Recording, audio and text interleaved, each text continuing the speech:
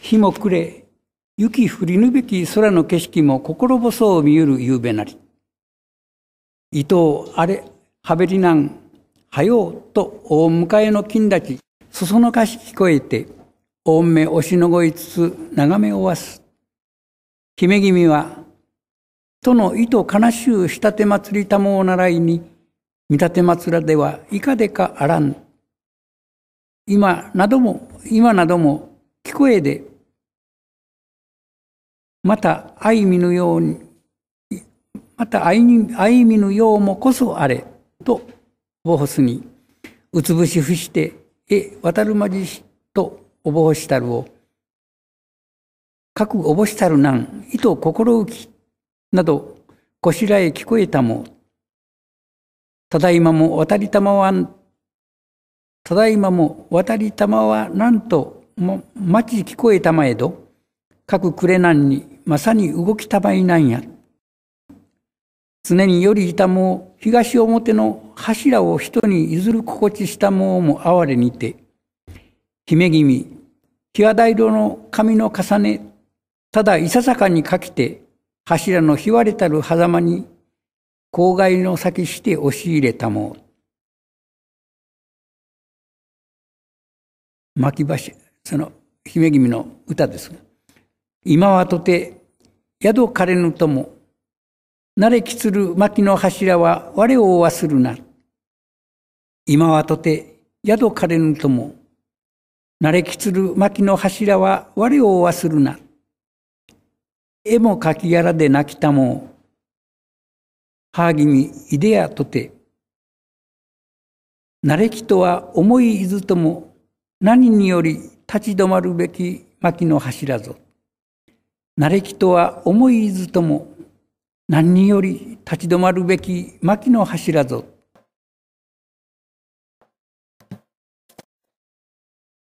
日も暮れ。もう日も暮れで、それで、まあいいわけですけれども、本当はあの、こういう日も暮れというふうな時の、もう少しこう実感的な受け取り方は、あの、日も暗くなりということなんです。日が来るっていうのはあの太陽の光が暗くなるそれが日が来るということなんですね。それを我々もその日の光が暗くなっていくっていう感覚をのけた感じでよりこう常識的な形であのその日が過ぎてしまうというふうな意味にしばしばとているわけですけども日も暮れ日が暗くなり雪降りぬべき空の景色も心細を見ゆる夕べなり雪がちらついてきそうな空の景色もたまらなく心細く感じられる夕方のことである。伊藤あれはべりなんはよう。この様子ではひどく荒れ模様になりましょう。悪天候になりましょう。早くと大迎えの金立ち北の方の兄弟の人たちがそそのかし聞こえて促し申して大目押しのごいつつ眺めをわす。それぞれ目に浮かぶ涙を押しのごい押しのごいして眺めおわす。憂鬱な気持ちでぼーっと見るともなく見ていらっしゃる。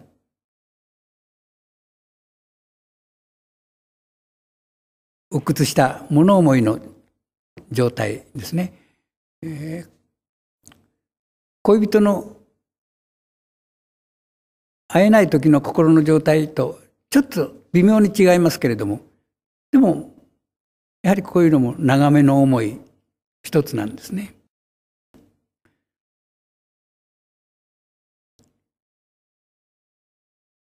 このご夫婦の間の姫君は、との意図悲しゅうしたて祭りたも習いに、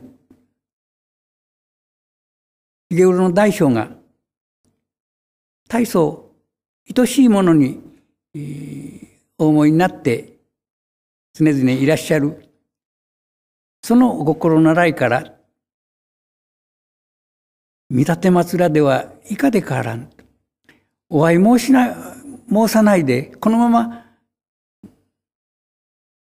家を離れてしまうというのは、どういうことだろう？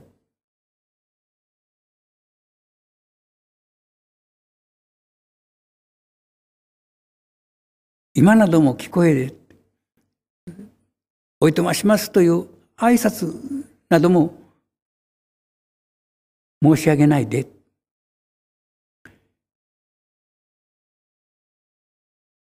また、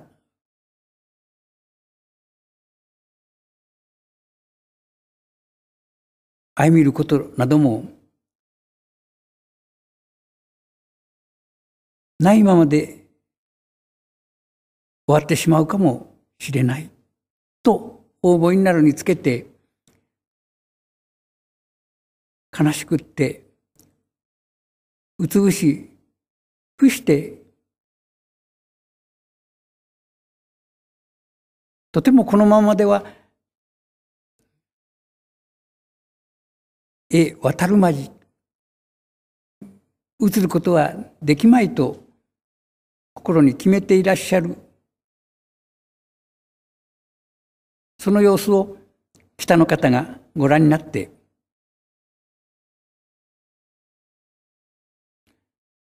そんなふうにあなたが思ってらっしゃるそのことを大層情けないことだ。などこしらえ聞こえたもこしらえるというのはつまり騙しすかししておっしゃっている。何とかしてこのままここを去らせようとして騙しすかしていらっしゃる。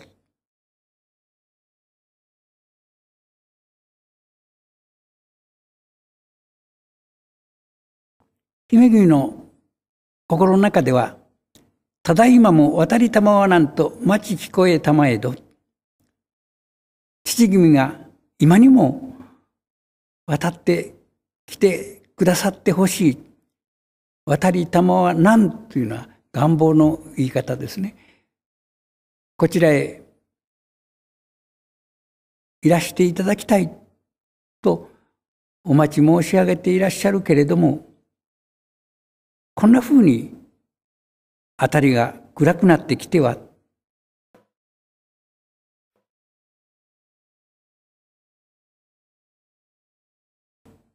も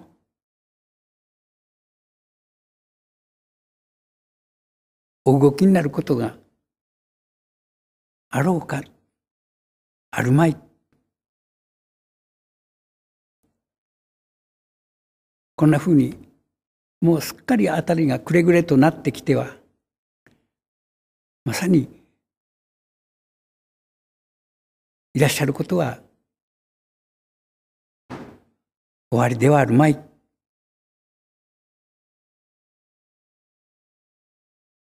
この姫君がいつも身を寄せていらっしゃる東表の柱を他人に譲るような虚しいお気持ちがなさるのも誠にしみじみと思われて家の柱ですね、えー、それはこの姫君がいつも身を寄せていらっしゃった東表の柱なんそれがもうこれが別れの時だとお思いになると本当にしみじみと胸にしみてでこの姫君がその姫君が日和田色の髪の重ねたのを日肌色っていうのはあの日肌の色をした新しい日肌の色っていうのはあの巣青色のいくらか黒ずんだ感じの色。ですね。日和田も日和田吹きの屋根なんかはあの吹いたばっかりは割合に鮮やかな色をしてるんです。時が経つとだんだん黒ずんでいったり焦げが生えたりしてくるわけですけれども。新しい日肌の色。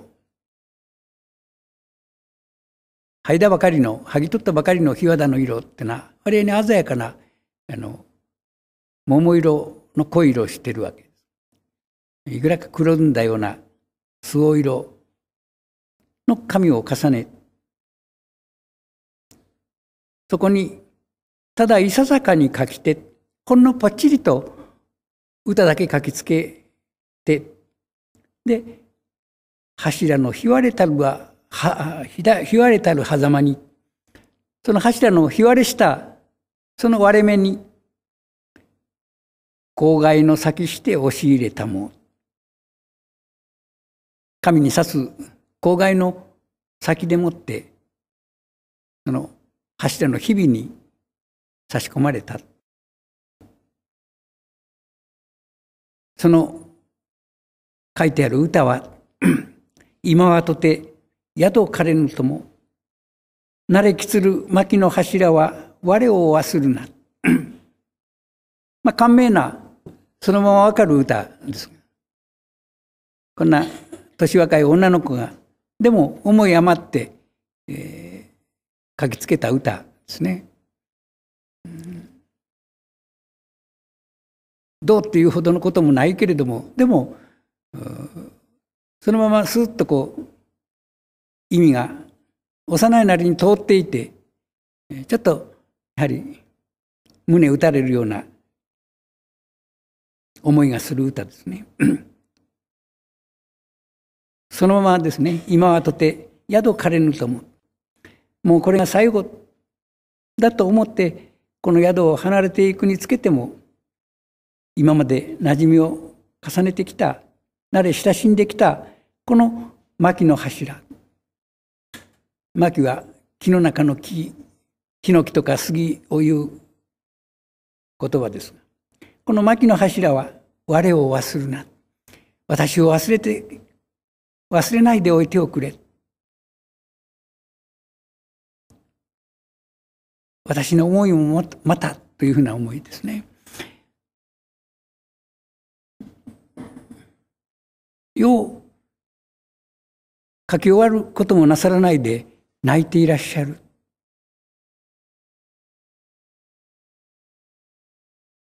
母君が「いでや」それじゃあ私もというので慣れ人は思いずとも何人より立ち止まるべき牧の柱ぞ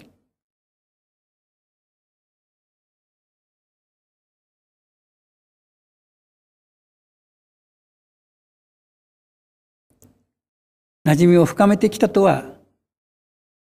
そのことは思い出すとしても、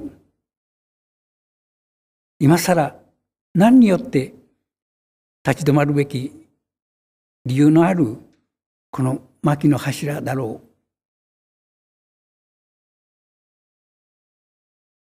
う。なんかもう一つ心が足りないような歌ですね。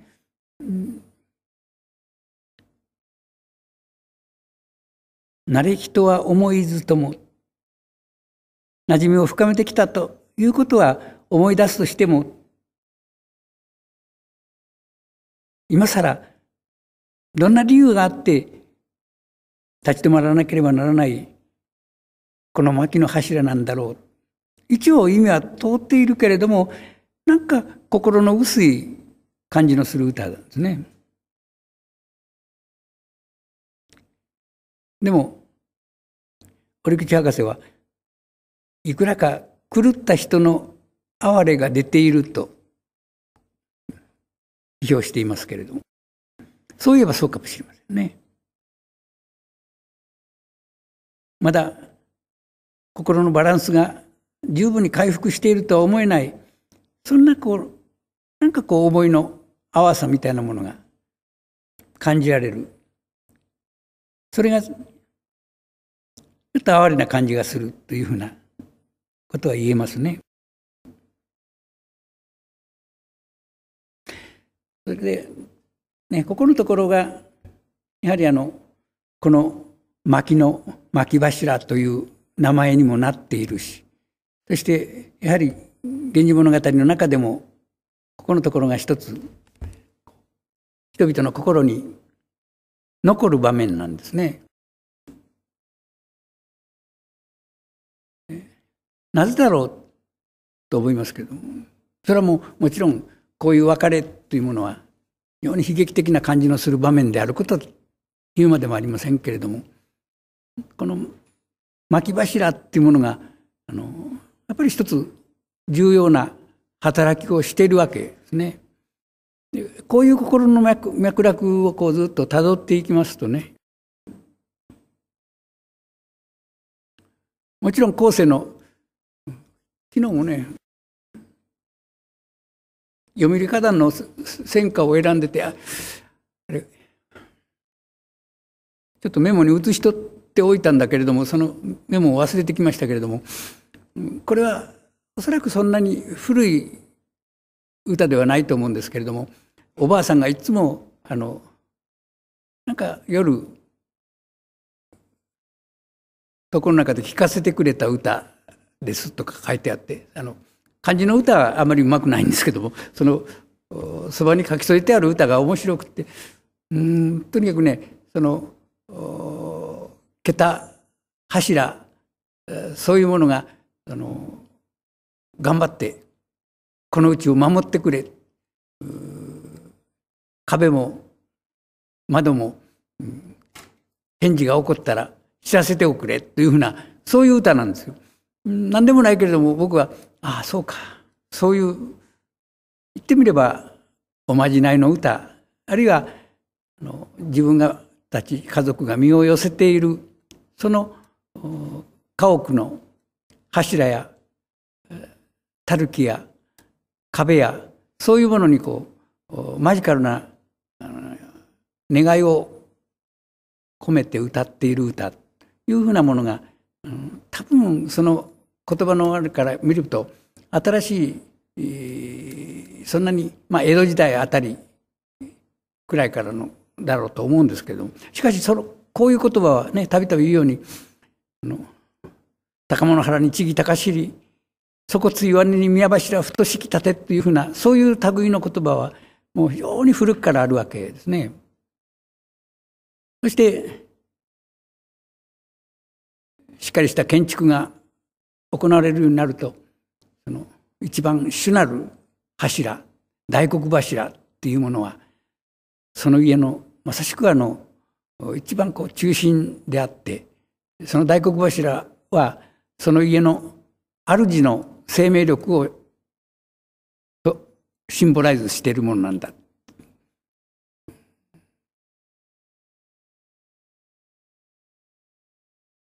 だからあの柱の傷はなんとかのという歌は本当はあのまあいわば創作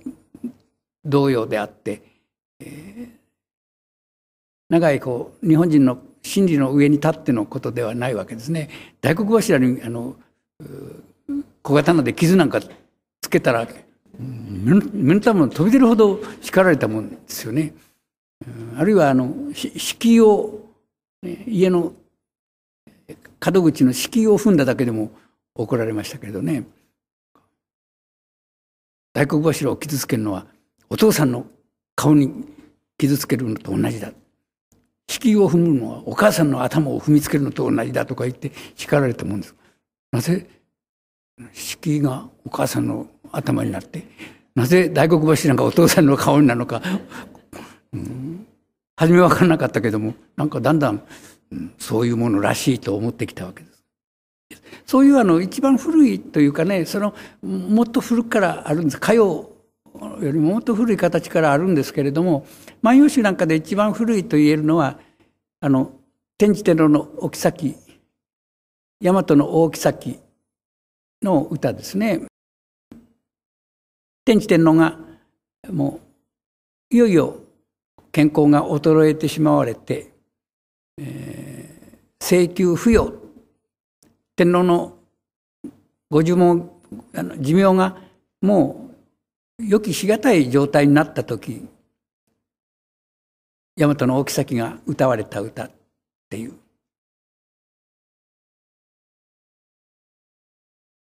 天の原振り裂け見れば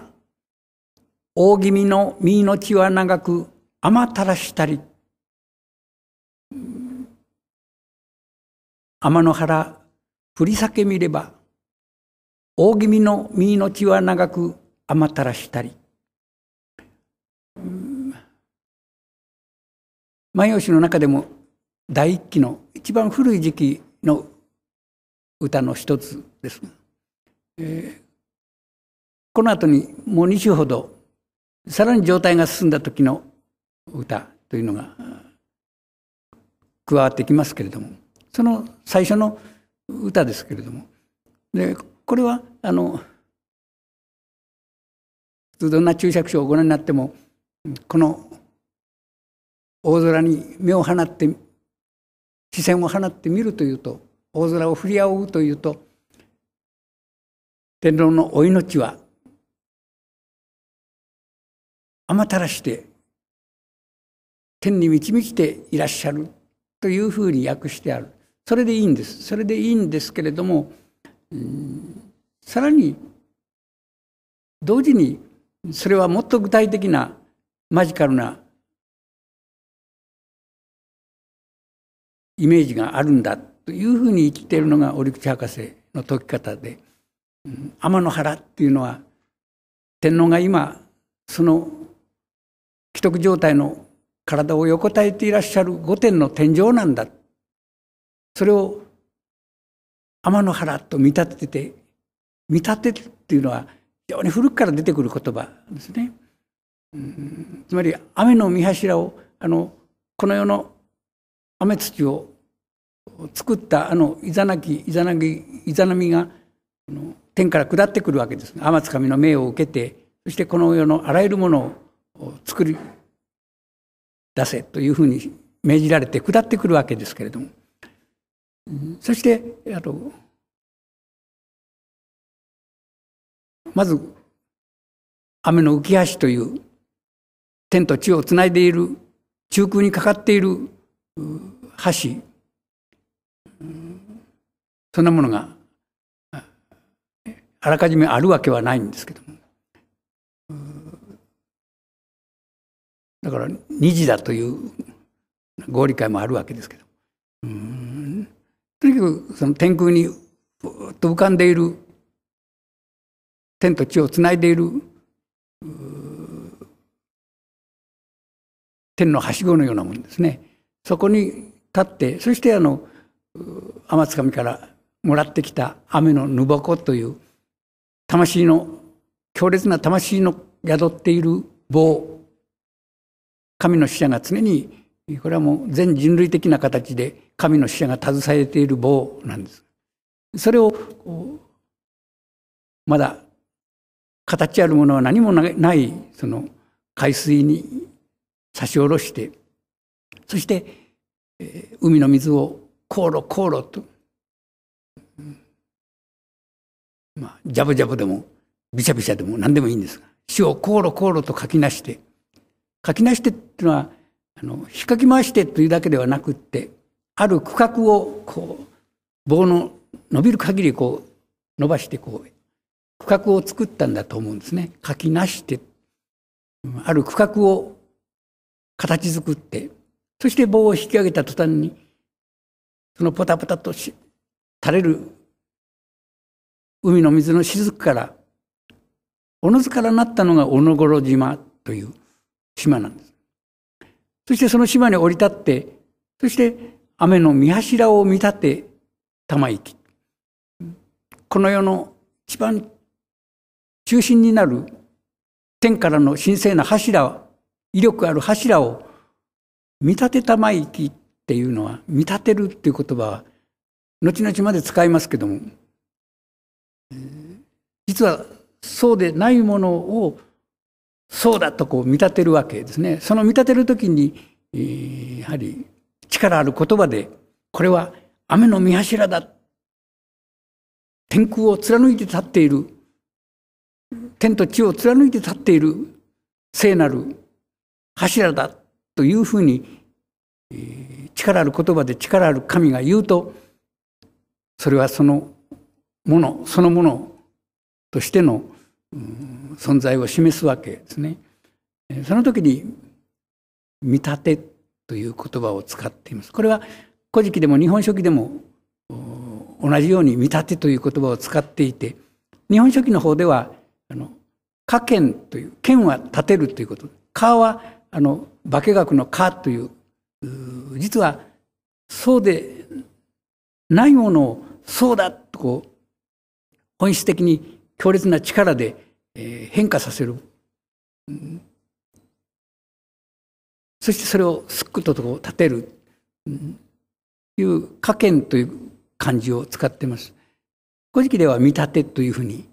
えー、大和言葉風に言ってますけれども。で、そういうその雨の見柱というふうなものが、一番やっぱりこの世の全てのつまりものを作っていく造物種の一番やっぱり行動の中心になるわけですね。あるいはこの世のものを生み出すものの一番核になっていくわけです。でそういうのが神話の初めに出てくるわけですけれどもそれを考えると天智天皇がもう既得状態になった時に天皇のそばに仕えている聖なる女性の中で一番強い霊力を持っている大妃大和の大妃大和族の代表的な女性高貴な女性である皇后が天の原振り裂け見ればそしてこの天使の今横たわっていらっしゃる御殿の天井を振り仰いでみるとそれはすなわち心としては天の原振り裂け見ればという心なんだ。しかし具体的には御殿の天井を見ているわけなんだ。大気味の身の血は長く甘たらしたりこの屋敷のこの家の主でいらっしゃるこの国の主でいらっしゃる天使のお命はこの天空から天井からこの地の岩盤まで満ち満ちて足りていらっしゃる。そして天井から垂れていらっしゃる。つまり、えーもちろん後世のように釘やなんか使いませんから。あるいは木組みを成功に組み合わせるというよりも、さらにその素朴な植物のつるで胸木やたるきを縛り合わせてあるわけで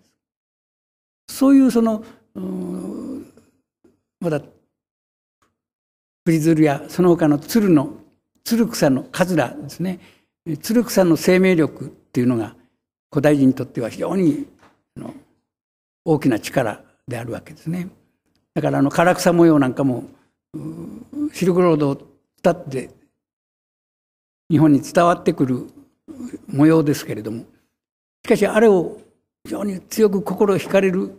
その心理は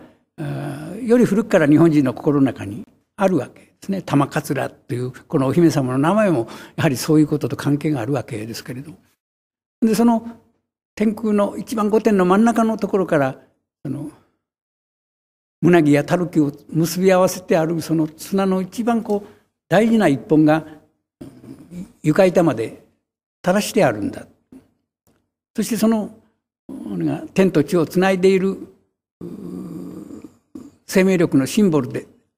綱であってそれは同時にその御殿の主の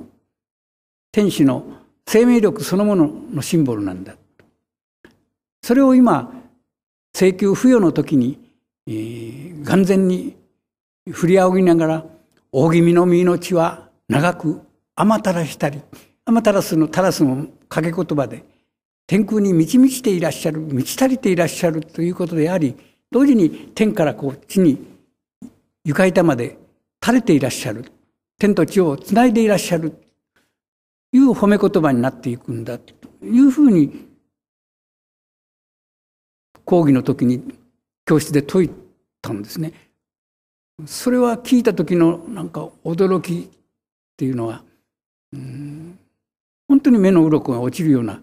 感じがいたしましたけれども。ああそうか。そういう古代歌謡っていうのはその中でも特に重要なそういう歌は二重三重の表現を持っているんだ。多義性ある言葉で多義性を含んだ内容いうものを一種の中に、えー、溢れるほどにこう包んで包み込んでいるんだということが分かったわけですけれども。いわば文献国文学よりももう一つ多くの伝承国文学の真理を、まあ、具体的にこう聞かされたわけですね。そんなこと学生の頃別に考えられたわけではありませんけれどもなんか大変なことを聞いたという感じがしたわけですけれどもそういう心理がこうずっと続いているわけですね。家褒めの言葉室褒めの言葉そして同時にそれはその家の主の生命力を祝福する言葉。あるいは一族の長老の永遠の生命力を祝福する言葉。それが同時に国褒めの言葉であり家褒めの言葉でありやがて国褒めの言葉になってい、く、うん、そのことを考えればあのこの「牧柱」というふうな歌が「源氏物語」の中にこういう形であってなんとなく人の心をこう引きつけているそういう理由も脈絡がついてくるわけですね。この少女の歌った、ね、父親に対して残残していった柱の割れ目に残していったことあの歌っていうのが、うん、人々の心にあるこう幅を持って奥行きを持って響いたということなんでしょうね。うん